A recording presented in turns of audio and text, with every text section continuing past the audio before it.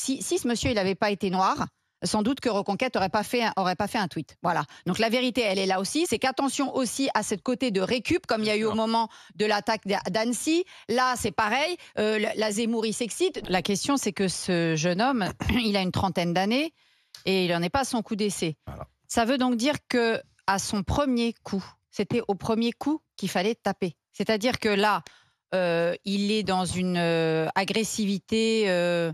Euh, bon, je pense que Presque vu son état, oui, moi je pense que, enfin.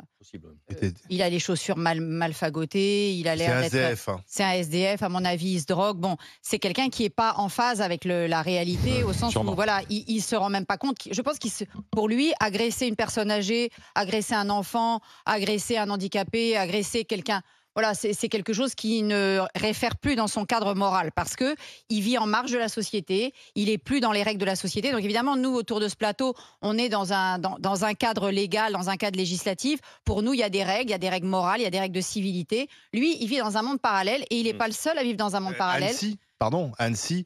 Ça me fait penser à Annecy où le type est capable de Oui. poignarder des bébés. Oui, mais alors là, fait, le- mec aussi- d'Annecy, sans doute qu'il est lié aussi à des traumas de stress post-traumatique liés à, sa, à, sa- à- à la, à Syrie, à la Syrie, à guerre qu'il a faite en Non, mais il n'y a Syrie. plus de tabou. non, C'est-à-dire mais qu'on moi, je peut comparerais violenter pas. un enfant, attendez. on peut poignarder des bébés. Pardon. Oui, mais là, moi, je comparerais pas parce que euh, ce monsieur, ça doit être un SDF. Là, vous en a, au moment où on se parle, au moment où on se parle, allons voir hein, euh, sous les ponts de Paris et sous les ponts de toutes les grandes villes, tous les gens que l'on laisse arriver et que l'on laisse abandonner. Heureusement qu'il y a les maraudes le soir des associations et, des, et de la Croix-Rouge et d'autres pour s'en occuper parce que sinon, c'est pas l'État et les pouvoirs publics qui s'en occupent. Par contre, aller tweeter, là, les reconquêtes et compagnie qui vont tweeter toutes les cinq minutes parce qu'excusez-moi, moi, ce monsieur-là, euh, il faut qu'il aille en prison. Il aurait fallu qu'il aille en prison dès son premier acte. C'est-à-dire, si ça se trouve, ce mec-là, il a commencé, il avait 15 ans. À 15 ans, ah, il faut lui faire un rappel à la loi. Ah, il faut lui expliquer. Bon, donc, c'est dès le début. C'est-à-dire, il fallait casser la spirale de, de cette situation qui fait qu'à 30 ans, le mec, il a plus,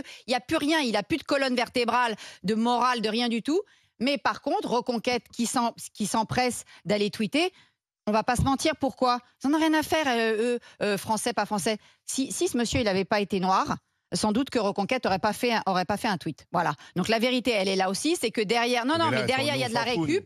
Derrière, il y a de la Oui, récup. parce que c'est. oui. Parce que... Non, non, euh, regardez-les comment blanc, le ils fait ont... de projeter une grand-mère, une petite. Non, mais, fille, mais c'est- je suis d'accord avec vous. jeune, je on suis l'avait juste vu. en- Non, non, tout ce qui a été dit Voilà. avant, je suis d'accord. Donc, j'allais pas revenir... en elle-même. J'allais pas revenir pour répéter la même chose, donc je prends, je rajoute autre chose, c'est qu'attention aussi à cette côté de récup, comme il y a eu au moment de l'attaque d'A- d'Annecy. Là, c'est pareil, euh, la- Zemmour il s'excite. Donc, je- la vraie, le vrai problème, c'est que dès comme ça, on en a plein les rues et qu'on a une magistrature qui, en particulier dans la, la- la- la fin de l'adolescence, quand ces, ces gens-là commencent vers 15, 16, 17, 18 ans, sont dans le rappel à la loi, le faut comprendre, le je te cajole, alors qu'en réalité, il y, a des, il y a des actions de prévention et des actions de sanction qui sont à faire dès les premiers actes. Vous avez des pays comme aux Pays-Bas ou autres, où on fait des toutes petites peines de prison chez des jeunes.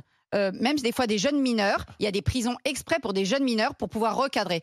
Ce mec-là, on l'a jamais recadré. Vous croyez que c'est à 30 ans que la justice elle va Alors, passer faire quelque chose On va aller à Bordeaux justement écouter Sandrine. Bonjour Sandrine. Bonjour les grandes gueules, je suis Bon. ravie de, de, de pouvoir euh, débattre avec vous.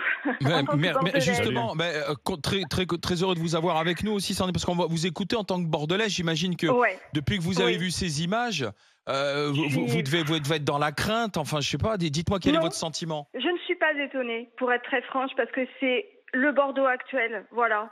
C'est Mm. ma ville qui, euh, qui part à volo. C'est l'insécurité partout. Plus aucun quartier n'est euh, sécure maintenant à Bordeaux. Mais euh, moi, le coup de gueule que j'ai envie de passer, c'est Monsieur le maire, réveillez-vous. Enfin, de- d'aller planter des mini-forêts, c'est bien. Mais nous, euh, les Bordelais, on a envie de vivre en paix chez nous, de ne pas avoir des rodéos euh, tous les soirs euh, devant chez nous, de ne pas vivre dans l'insécurité, de voir des agressions permanentes.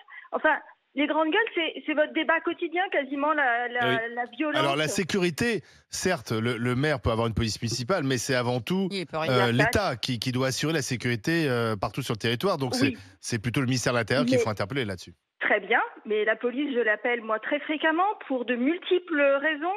Les rodéos, l'insécurité, la drogue euh, en bas de chez moi. Et qu'est-ce qu'elle vous répond, la police?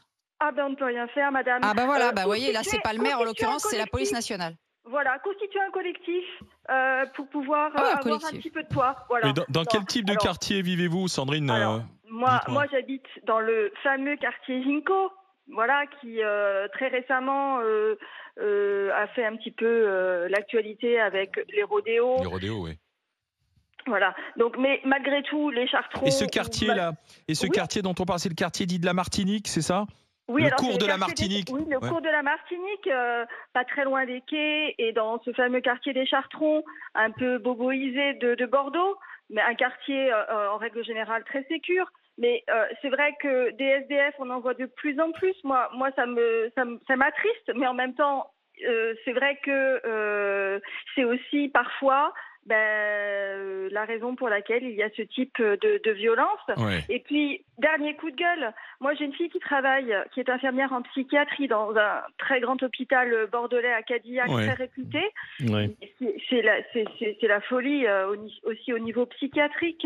Il n'y a plus de place, il n'y a Mais plus oui. Eh oui, des locaux. On en parle régulièrement. Eh oui. enfin, ça fait 30 ans qu'on a abandonné la psychiatrie dans ce pays, donc euh. Oui, voilà. mais ça- Ah bah oui, mais ça coûtait trop cher la psychiatrie, mais puisque des docteurs On qui s'occupent de l'esprit, c'est pas très grave. Oui, mais, Ah, pardon, voilà. on peut Eh ben, pas on à paye chaque- tout, tout Non, se paye. À chaque fait divers, on peut pas simplement Ouais, être sur le constat que Jérôme Marty fait. Il n'y a pas assez de place du prison et le constat que tu fais, il n'y a plus de place en psychiatrie. Exactement. Parce que les Français, sincèrement, c'est insupportable. on C'est pas ça, c'est C'est pas ça.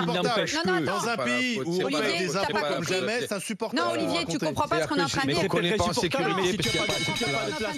l'un l'autre, tu fais quoi On, te- on te dit pas que ça justifie la situation ou qu'il faut rien faire. Oui, on t'explique. de fatalité. Non, c'est Non, pas une fatalité. non, non, c'est non, qu'à non, un moment donné, il faut dire dit que quand l'un va on est en train de payer les pots cassés d'une politique et qu'en plus on a un gouvernement qui veut continuer ces politiques-là. Excuse-moi, si on veut continuer à aller dans un système qui va nous mener dans le mur avec une société qui se délite de toutes parts, continuons à Bah, penser a tableau Excel au lieu de penser Avant tout, à il y a une la société plus Non, mais humaine. pardon, mais il y a aussi la responsabilité de gens qui font ça avant d'accuser le gouvernement. Oui, Euh, on, mais est, on sait très bien Ah bah, que les bien agressions, les sur les personnes âgées ne cessent de progresser. Ah bah ouais. Les personnes vulnérables, dans un pays qui vieillit, ça pose un vrai Bah problème oui. de société parce qu'il y a de plus en plus de, effectivement, de personnes fragiles Mm. euh, et on pense, euh, comme le dit Véran, à, à nos grands-mères, Mais à les nos violences parents. intrafamiliales, elles ont explosé. Les maltraitances Donc, contre les animaux ont explosé. on voit bien continuer qu'il y a d'en une explosion de violence dans ce pays, Sandrine, je vous remercie de Merci ce témoignage. À tous. Bonne journée, tous. Sandrine. Oui, Restez à l'écoute des GG. Dans un instant, on sera euh, justement toujours du côté de Bordeaux avec un, un policier. Parce que moi, j'aimerais bien savoir si effectivement il, enle- il, il essaye d'enlever la petite fille ou si. Parce qu'il parce qu'il y a le chien qui sort à ce moment-là et qui aboie. Il y a deux versions en disant que c'est aussi les aboiements du chien qui, qui, le, qui le font Moi, partir. je crois aussi- qu'il veut surtout voler. hein, euh, Oui. il essaie de voler un sac ou un, un Oui. objet qui est par terre. Donc, voilà. en fait. On va continuer d'en discuter, tristement banal, ce qui, ce qui se passe. Là, malheureusement, Sandrine nous disait, bah oui, c'est devenu un peu le quotidien de, de Bordeaux. Donc, 32-16 pour continuer d'en discuter avec les GG.